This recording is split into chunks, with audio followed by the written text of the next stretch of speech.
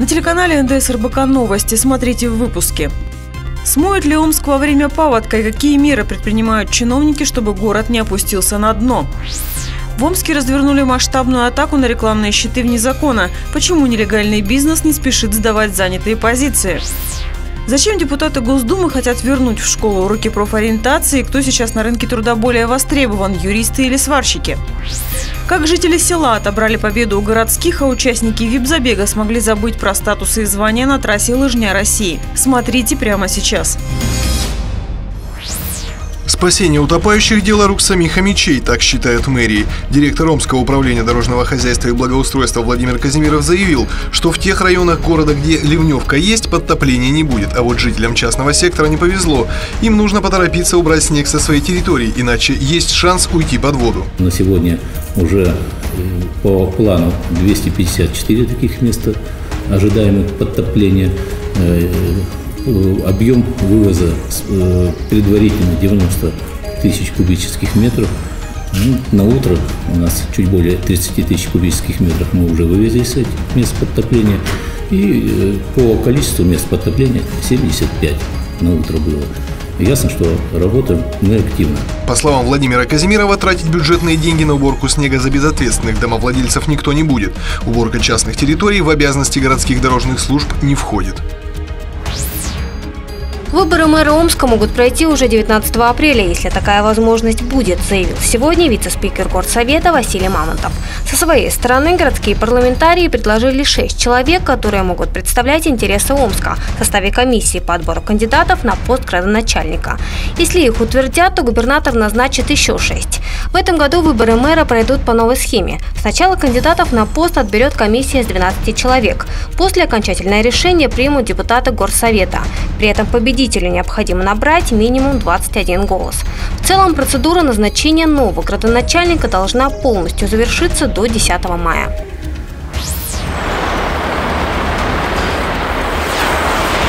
Двигатель торговли, который пора притормозить. Чиновники мэрии запустили операцию по зачистке города от нелегальной наружной рекламы. Таких конструкций около 600. Все они не вошли в схему, разработанную Департаментом имущественных отношений Омска, а значит по закону должны исчезнуть с обочин городских магистралей. Но терять источник постоянного дохода, за который даже не нужно платить аренду, конечно, хочется не всем. Администрации города приходится за счет бюджета сносить нелегальные конструкции. Не все у нас э, предприниматели являются добросовестными. То есть и мы понимаем, если бы у нас было выпущено предписание и владелец осуществил демонтаж самостоятельно в то время, когда это было положено, к настоящему моменту у нас уже бы в принципе не существовало конструкций, которые незаконно установлены, либо эксплуатируются незаконно. Но процесс этот, наверное, будет постоянен. Мы это прекрасно понимаем, что будут появляться в том числе конструкции незаконные после того, когда мы проводим торги. После проведения торгов на право размещения конструкции рынок наружной рекламы в Омске серьезно изменился. Прежние лидеры, провалив аукцион, оказались в числе аутсайдеров. Федоров. Так произошло с агентством «Компаньон», принадлежащим Егору Сусликову, сыну медиамагната Сергея Сусликова. Компания смогла выиграть на нескольких последних аукционах только 60 конструкций, но уходить с занятых позиций семья Сусликовых, видимо, не намерена. В городе все еще стоят рекламные щиты этого агентства. При этом вполне очевидно, что некоторые из них работают в ущерб интересам победителей торгов и городской казне. Часть билбордов компаньона размещается на местах, арендованных другими предпринимателями. Игроки рынка предполагают, что 80% сети компаньона может быть вне закона. Хотя участвовать в открытых аукционах возможность была у всех подали заявку, приняли участие, торговались, не смогли выиграть по ряду причин. Не знаю, что там двигало. Деньги, там, может быть, там, отсутствие желания, еще что-то. Не могу сказать. Но, тем не менее, после торгов начинается вся вот эта вот, э, ну, извините, возня. Что торги неправильные, это все не так, предприниматели под угрозой, надо всех срочно защищать. Кого защищать? Все, кто хотел, приняли участие. Кто-то смог выиграть, кто-то не смог выиграть. Но это рынок, это нормальные, обычные условия работы. Торги принесли в городской бюджет 206 миллионов рублей. Для сферы наружной рекламы это рекордная цифра. К тому же рынок, еще недавно работавший по законам 90-х, стал прозрачнее и понятнее. Казалось бы, все должны остаться довольны. И бизнес теперь защищен, и бюджету обеспечено отчисление. И все действительно довольны, кроме агентства «Компаньон». Президент неоднократно призывал не кошмарить законный бизнес. Для наших чиновников это давно уже не проблема. Они научились виртуозно сначала вполне легальный бизнес выводить из правового поля, а потом уже кошмарить его за незаконность. При этом чиновники не могут снести некоторые конструкции агентства «Компаньон». На них наложены обременительные меры в связи с судебными процессами. Егор Сусликов пытается доказать в суде свое право размещать рекламу там, где привыкли. Но и что с того, что размещать рекламу в таких случаях нельзя? Закон, судя по всему, писан не для всех. Особенно, когда речь идет о многомиллионных доходах. Ведь чем дольше будет длиться судебный процесс, тем больше «Компаньон» сможет заработать на незаконной рекламе. Он, когда защищает свои интересы и когда выступает в суде, он же не озвучивает, что я ежемесячно получаю там по 7-8 по миллионов дохода с этих рекламных конструкций. Он же считает, что эти деньги он получает законно, потому что он же отстаивает свои законные интересы. Вопрос в том, что задача, скажем так, оперативно отстоять свои интересы у него нет. У него задача затянуть, сделать этот процесс длительным. Позицию Сусликова другие игроки рынка называют не иначе, как политикой двойных стандартов. На словах он переживает за бизнес и радеет за закон, на деле мешает другим предпринимателям и нарушает правила, которые одинаковы для всех. По мнению представителей медиасообщества, эта рекламная история вполне может послужить поводом для тщательного разбирательства правоохранительных органов.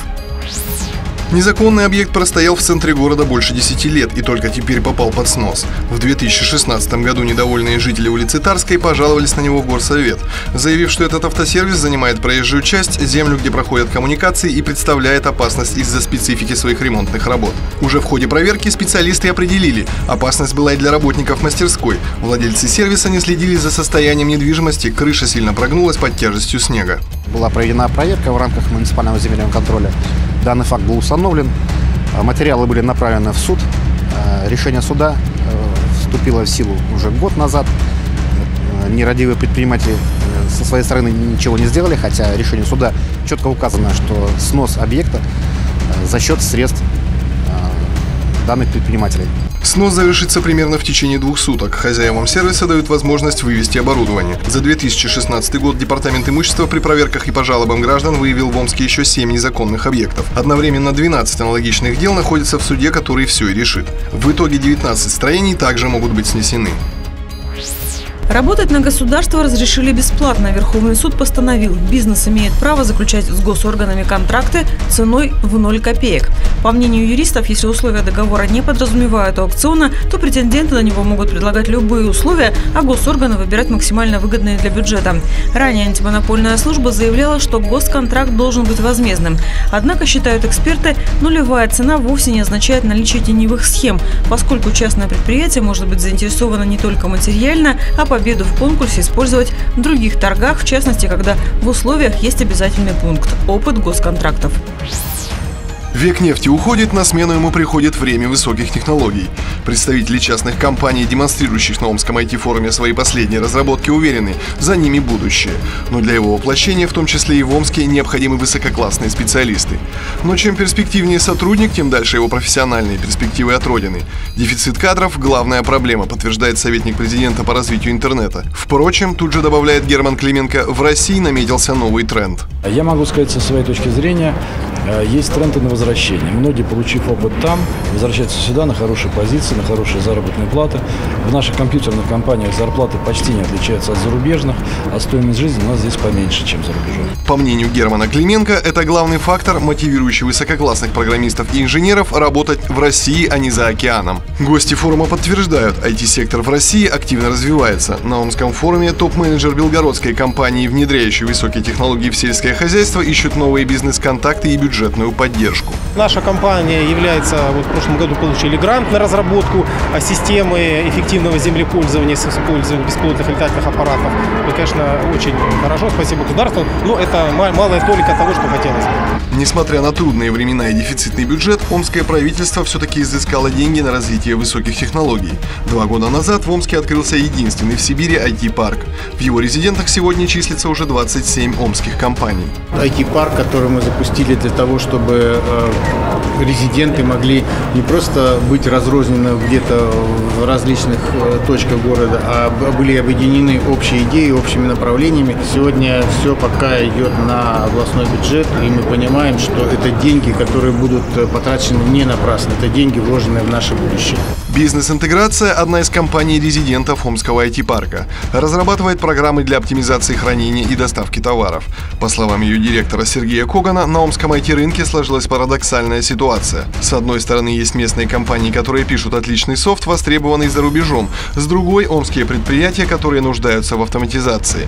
Но, как оказалось, выйти на мировой рынок проще, чем наладить сотрудничество с местными производителями. У нас в Омске есть достаточно большая пропасть между компаниями, которые занимаются чистым IT, и компаниями, которые занимаются чистым производством. Есть некий информационный барьер. Почему он есть и как его преодолевать? Вот, наверное, IT-форум – это одно из средств, который должен в этом помогать. Самая зрелищная часть форума – фестиваль «Робофест». Ученику 4 класса Александру Ермоленко всего 10 лет. Несмотря на свой юный возраст, он уже настоящий робототехник. Тут очень сложный механизм с поднятием и опусканием маркера, блок NXT. Тут э, поднятие маркера, тут еще должен стоять мотор, чтобы его поднимать. Мы пока не сделали. У нас почти готова вся фигура, и мы можем э, занять первое место. В будущем Саша мечтает стать конструктором роботов не игрушечных, а самых что ни на есть настоящих. Уже в марте победители Омского этапа отправятся в Москву на Всероссийский робототехнический фестиваль. А организаторы IT-форума надеются, юные гении не только привезут домой дипломы победителей, но через несколько лет обеспечат региону статус высокотехнологичной территории.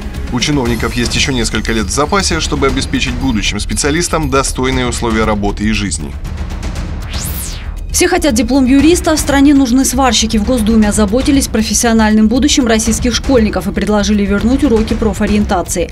По мнению авторов инициативы, если в самое ближайшее время не внести изменений в школьную программу, через несколько лет на рынке труда появится целая армия безработных юристов и менеджеров, а цеха промышленных предприятий, напротив, будут пустовать. Тесты, проведенные в российских школах, показали, ни сами школьники, ни их родители, ни учителя понятия не имеют, какие профессии будут востребованы на момент окончания выпускниками вузов. Чтобы стать героем криминальной хроники, достаточно пяти минут. Именно на это время Амич оставил без присмотра телефон на столике в кафе. Как пояснил оперативникам потерпевший, он решил подзарядить мобильное устройство и не думал, что кто-то этим воспользуется. Дознаватели городского отдела полиции номер 7 выяснили у персонала бара, что подозреваемым может быть другой посетитель, 40-летний мужчина. В ходе следствия удалось установить, что похититель ранее был судим. Сейчас он задержан, а украденное имущество изъято и возвращено владельцу. При допросе подозреваемый пояснил, что похищенное он был ломбард, денежными средствами распорядился в последующем по своему усмотрению. Э, по данному уголовному делу э, было принято решение э, возбуждения по части 1 статьи 158, что предусматривает санкции 2 года лишения свободы. Символическое солнце недорого. Омск входит в десятку регионов с дешевым набором продуктов для главного угощения на Масленицу. По расчетам экспертов, амичи могут испечь 30 блинов, потратив всего 70 рублей. Правда, возглавляет список с эконом-вариантами Республика Татарстан, а Омская область лишь седьмая в этом рейтинге. В качестве утешения можно отметить, что в соседней Тюмени масленичная неделя влетит в копеечку. Этот регион попал в десятку, где один из самых дорогих блинов в стране. Дистанция в 10 километров самая длинная в этом зимнем забеге. Именно здесь собрались сильные амбициозные спортсмены лыжни России. В этом году в соревнованиях в Омске приняли участие почти 4 тысячи человек. Причем юным лыжникам едва исполнилось 4 года, а самый старший спортсмен-любитель недавно отметил 80-летний юбилей. При этом конкуренцию городским составили жители села. Так на участке в 5 километров победу завоевала Алена Потапова из Азовского района. Пыталась убежать, не получилось и пришлось держаться группой и на финише уже разбираться. Времени на раскатку чиновникам и депутатам, привыкшим к коротким совещаниям минут по 40, урезали до 10. В 2017 м участники пробежали 2017 метров. Здесь все как в большом спорте и политике. Победа достается сильнейшим, а статус тут особой роли не играет. Первые места вип-забега забирает творческая научная интеллигенция. Самым быстрым оказался проректор УМГАУ Владимир Кумпан. Впрочем, депутаты городского совета и законодательного собрания тоже установили свои личные рекорды. Конечно, тут наши коллеги коллеги-депутаты, Антропенко Игорь Александрович в частности. Вот, а, но из того, что кого я обогнал, это господина Фабрициуса мне удалось обогнать уже определенное достижение. Лыжня России – это, пожалуй, самый массовый общенациональный флешмоб, поскольку в один день на лыжи встали жители разных регионов и в каждом были свои особенности. Судя по видеоотчетам в соцсетях, жители Новосибирска заранее бронировали костюмы тигров, рассчитывали, видимо, так запугать соперников. А в Санкт-Петербурге спортсмены получили по шапке, причем в прямом смысле этого слова. В городе на Неве посчитали, что головной убор с символикой состязаний станет отличным стимулом для дальнейших занятий спортом. В Омской же области организаторы решили, что лучшая мотивация – это положительные эмоции. Самое главное, что дают такие мероприятия, такие спортивные состязания – это радость, радость общения и удовольствие от занятия спортом. Судя по прогнозам метеорологов, лыжня России правда подарила мечам последний шанс получить много позитива и попрощаться с зимними видами спорта. Уже на этой неделе большая часть лыжных трасс попросту растает под теплыми солнечными лучами. Температура воздуха будет уже со знаком плюс.